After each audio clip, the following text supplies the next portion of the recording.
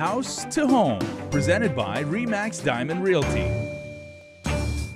Okay, everyone, we are back, and for House to Home, Liz and Gina from Remax Diamond Realty Guam are here. And last week we kind of went a little bit mopey. We were talking about probate, and we, we, said, okay, probate, the one thing that you can't get around is it's a time-consuming process, mm -hmm. and mm -hmm. it can be an expensive process. It is a process, like you it said, is a process. Liz. Um, but this week I was hoping we can kind of tackle on the difference between what value is listed in your probate documents as far as the value of your property and what might be attainable in the market once you decide to sell it, if you shop it around and everything yeah, like that. So, yeah. so, so is there is there a scale? Is there a window? Is there is there a range that is a ballpark for you know because say, okay say on a probate form or like the the judge stamps a document says this particular plot in village XYZ mm -hmm, is mm -hmm. worth 50 grand, mm -hmm, right? Mm-hmm should I shop that out in the open market? And, and we're in a buyer's market right now. What can I, how, how Well, well how the, the question there is where did they get that get the value? value. Mm. Exactly. Okay. Okay, so, so that's the first, first question mm -hmm, that your attorney, your probate attorney pretty much has to address is where am I going to get the value? Mm -hmm. Because you go to them and you say, I'm going to open probate, they're going to base their fees and the court fees on the value. Value of the property. Yeah, so where did that come from? some attorneys order an appraisal.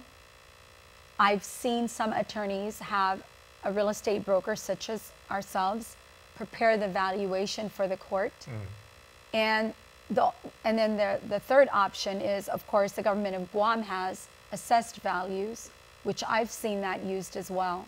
Mm-hmm. Yeah, it just depends on what the attorney uses.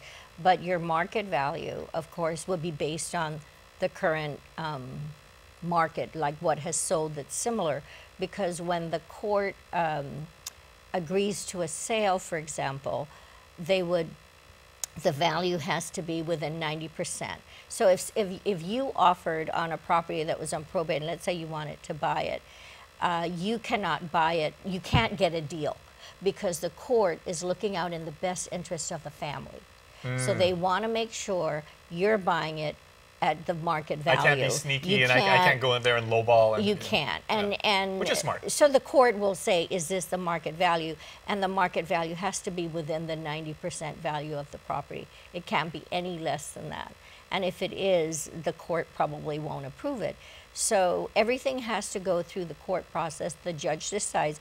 But remember, the judge is looking at the best interest. Even if the family says, we're going, we want to get this prop uh, buy, we want to sell it to this individual, blah, blah, blah, and, it, and let's say it's less. The judge looks at the best interest of the estate. Okay. So he, they won't do it any less than that. Okay, so now here's something we haven't talked about when it comes to probate, right? So, so say like a family goes through the entire probate process. Uh, the judge assesses everything, says everything's in working order. I'm comfortable with the values as stated. Mm -hmm. I'm mm-hmm. going to sign off on it. Probate at that point is done, right? if, yeah, I, if I'm going to sell the property or I'm going to buy property that, that's now available, are there any more stipulations as far as having to clear that with a judge? Well, it has to go to the, to the court to say, let's say you signed a purchase document and, and the attorney will request the court's approval. So that purchase um, agreement will go before the court mm -hmm. and the judge will review it and um, say, yes, we're approving this but at the same time, someone else could show up and bid even higher.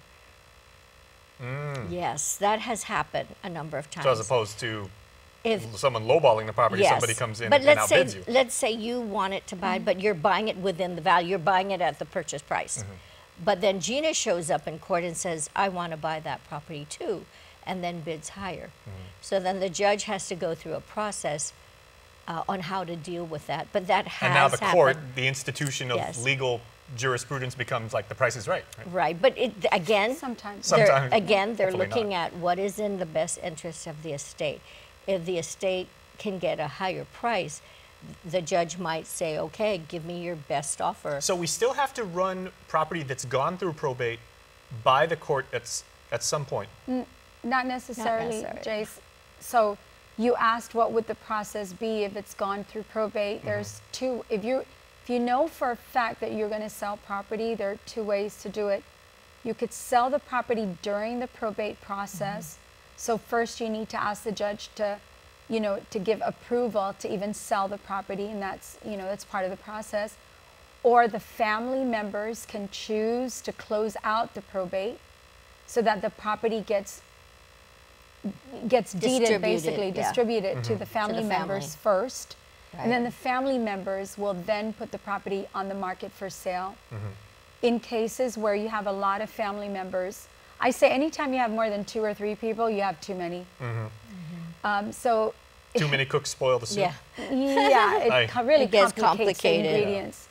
So if you well, so but but that those are your options. You can ask the judge to distribute the property to all the family members, and then at that point, all the decision making is made by the family members who have received ownership. So let's say, for example, there are 10.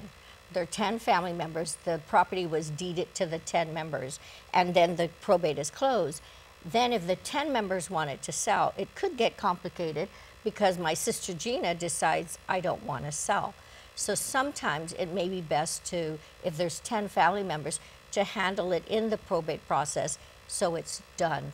Otherwise, once it comes deeded, it could get a bit more complicated because if one disagrees, and that happens also in the probate process, if one disagrees, then the judge may make a determination. Okay, we, we yeah we got to wrap up the show, but I, I was going to ask: Is it fair to say that probate matters are some of the most complex transactions that you as realtors have to deal with?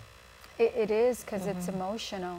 Yeah, absolutely. Mm. So it's well, not so- it's not so much estate's a- emotional. Period. It's not so much a paper chase. It's not so much you know you've got to you know, there's all these legal things going back and forth and dollar signs all over the place. Yeah. There, there's the emotional component. But because- we're Exactly, guided but- through the, the, the I attorney mean, the actually. laws are there and the attorneys Sure. guide us. But Yes. I want to point out that even if family, if you're in probate and you're and you want to sell, and you have family members that disagree, it doesn't mean you cannot sell. Yeah.